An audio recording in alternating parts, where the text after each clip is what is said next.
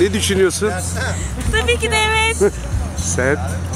Haber Kasaba Gazetesi Turgutlu.